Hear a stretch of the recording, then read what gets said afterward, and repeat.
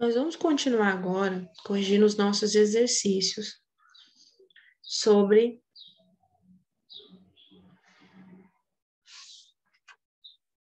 proporção relacionada aos polígonos.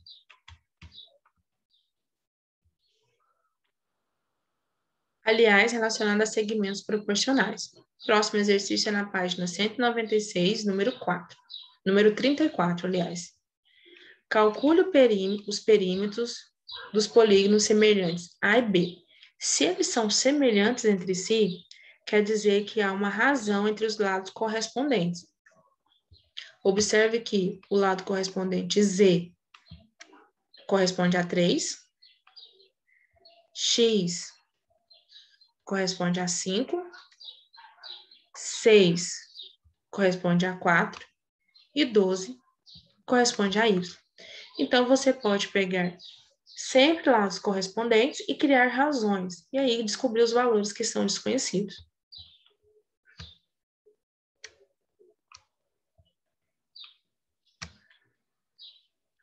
Bom, primeiro eu quero descobrir o valor do Z. Então, a ordem que você vai escolher depende daquilo que você quiser primeiro. Eu vou primeiro escolher uma razão que eu tenha os dois valores, que não tenha letra. Então, o lado 6 corresponde ao lado 4. 6 está para 4, assim como Z está para 3. Agora que eu só tenho uma letra mais duas razões, eu posso aplicar a propriedade fundamental da razão, multiplicação dos meios tem que ser igual a multiplicação dos extremos, e encontrar o valor de Z. Z vezes 4. 4Z tem que ser igual a 6 vezes 3, 18 o 4 está multiplicando, muda para o segundo membro e ele vai passar dividindo. 18 dividido por 4, z é igual a 4,5. Agora eu vou encontrar o valor do y. Peguei a mesma razão porque eu já tenho ela pronta. 6 está para 4. E agora, o lado do y que, corresponde a ele é o 12. Então, vai ficar 12 está para y. Observe que eu sempre estou pegando da figura A para a figura B. Então, tem que seguir a mesma ordem. Aplica a propriedade fundamental da proporção. y vezes 6, 6y, igual 4 vezes 12, 48. 6y é igual a 48. O 6 está multiplicando o primeiro membro, passa para o segundo membro, dividindo. 48 dividido por 6, 8. Encontramos, encontramos o valor de y. Falta ainda o valor de x. Peguei a mesma razão, 6 está para 4, e agora o lado correspondente a x é 5, x está para 5. C, x vezes 4, 4x tem que ser igual a 6 vezes 5, 30. O 4 está multiplicando, passa para o segundo membro, dividindo.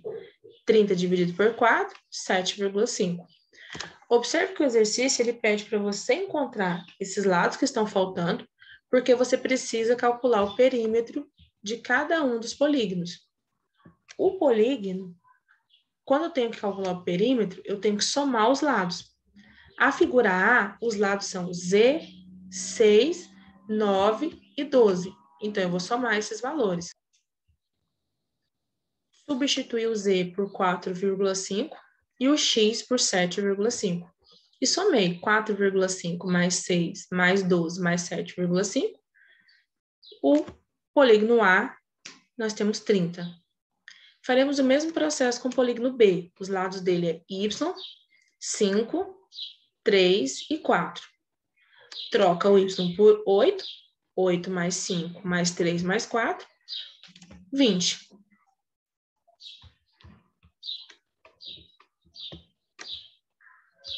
Nosso próximo exercício é o número 36, na página 197.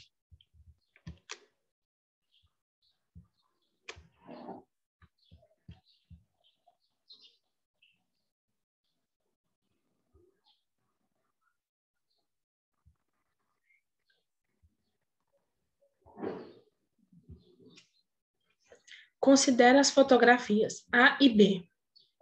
O valor de x para que as medidas da base e da altura das duas fotos sejam proporcional é 4,3, 5, 3,2, 2 ou 6,2 centímetros. Ele está dizendo que você tem duas, duas fotos. A primeira foto, ela tem o comprimento 2,5 e a altura, um valor que nós não sabemos. Então, colocamos como x. Já a segunda foto, ela é uma ampliação da primeira. Se ela é uma ampliação, isso significa que vale a proporcionalidade. O comprimento é proporcional à altura. O comprimento é 5 centímetros e a altura 8,6. Então, eu posso criar uma razão aqui. Com a primeira figura, a altura x é, está para 2,5, que é o comprimento, assim como a altura 8,6 está para o comprimento 5.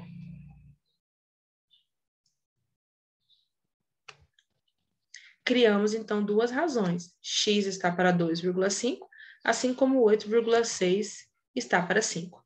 Se ele afirmou que são proporcionais essas duas razões que nós criamos, entre a primeira foto e a segunda, então vale a propriedade fundamental da proporção, que diz que você pode multiplicar os meios, que tem que ser igual à multiplicação dos extremos. Então, nós vamos criar aqui uma equação. Eu vou multiplicar o 5 com x, 5x vai ter que ser igual a 2,5 vezes 8,6, 21,5. Como o 5 está multiplicando com x e eu quero o valor de x e não de 5x, eu vou mudar esse 5 do primeiro membro para o segundo e ele vai mudar dividindo. Vamos ficar com 21,5 dividido por 5. O x é 4,3. Ou seja, o comprimento da primeira foto é 4,3 centímetros. Resposta correta, letra A. Nosso próximo exercício, na página 207, número 42.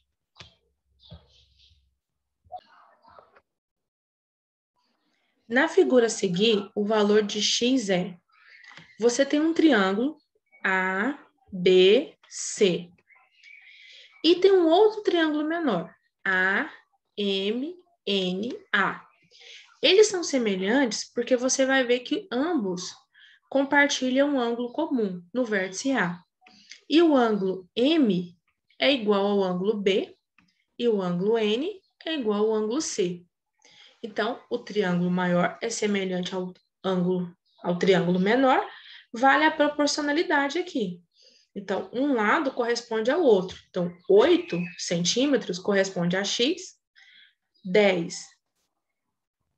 10 centímetros corresponde ao lado AC, que é o 10 centímetros mais o 20 centímetros, 30 centímetros. E eu posso criar, então, uma proporção entre esses lados. Vou criar primeiro uma proporção utilizando o triângulo menor. AMN. O lado 10 centímetros corresponde, é, é, está para a base 8 centímetros. Agora eu vou analisar o triângulo maior. O lado 10 centímetros e 20 centímetros, ou seja, 30 centímetros, está para x. Criando essas duas razões, nós temos uma proporção.